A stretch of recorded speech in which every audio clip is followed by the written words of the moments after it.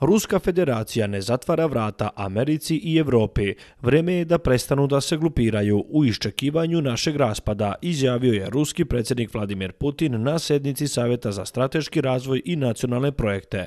Želeo bih da napomenem da mi ne zatvaramo vrata američkom kontinentu, Sjedinjenim državama i Kanadi.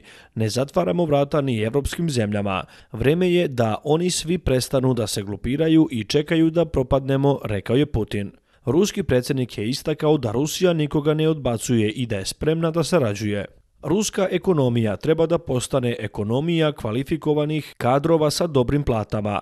Sve odluke i akcije za razvoj ekonomije objedinjuje glavni cilj spasavanje ljudi i povlačenje blagostanja, ukazao je on. Prema njegovim rečima, spoljni dug Rusije je smanjen za oko trećinu, što je veoma važno i da ruske vodeće kompanije smanjuju, otplaćuju kredite na vreme, preduzimaju druge radnje koje njihove finansije čine uravnoteženijim, prenjeli su mediji.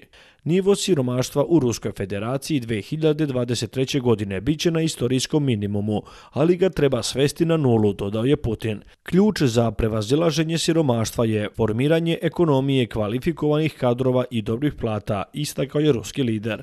On je naložio da se obezbedi dovoljna ponuda robe na domaćem tržištu, uključujući i potrošački segment.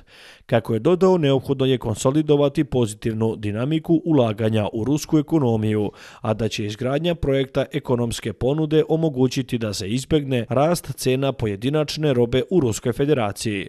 Putin je naveo da je procena građana glavni pokazatelj rada vlasti. Ključni kriterijum efikasnosti našeg grada je procena građana. O tome smo mnogo puta govorili, kako oni doživljavaju dinamiku i tempo, kvalitet promjena u njihovim životima, naglasio je on.